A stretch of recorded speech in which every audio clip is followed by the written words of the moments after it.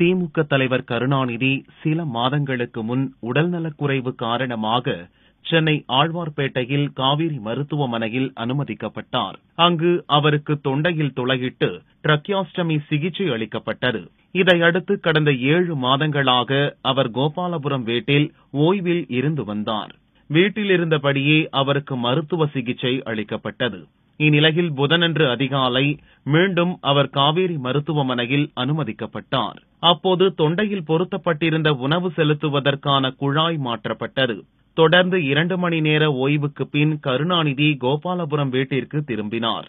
அவருடன் ராசாத்தி கனிமொழி தமிழரசு மற்றும் செல்வி ஆகியோர் சென்றனர்.